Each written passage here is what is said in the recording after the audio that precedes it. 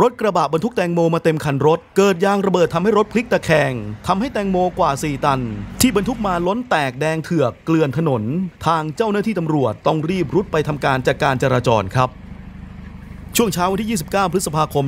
2566 ทางเจ้าหน้าที่ตำรวจสถานีตำรวจภูธรเมืองลบบุรี และเจ้าหน้าที่ตำรวจทางหลวงได้รับแจ้งว่าเกิดอุบัติเหตุ บนถนนสายเลี่ยงเมืองลบบุรีท่าวุ้ง หมู่ที่ 3ตำบลกกโกมอำเภอเมืองจังหวัดลบบุรี หลังจากได้รับแจ้ง ได้รีบรุดไปตรวจสอบยังจุดที่เกิดเหตุทันที และอำนวยการจราจรสำหรับในจุดที่เกิดเหตุ พบรถยนต์กระบะยี่ห้อโตโยต้าสีน้ำเงิน หมายเลขทะเบียนผอพึ่งกอไก่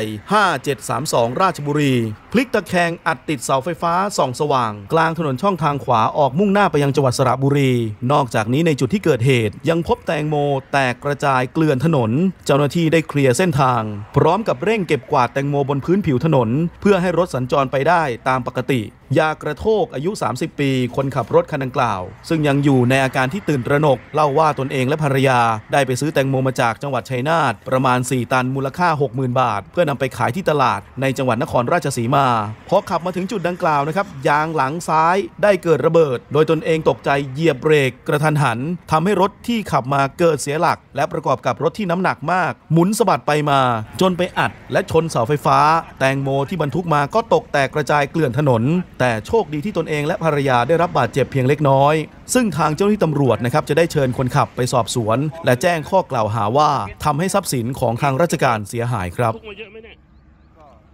ตันสี่ตันได้แล้วบรรทุกแตงโม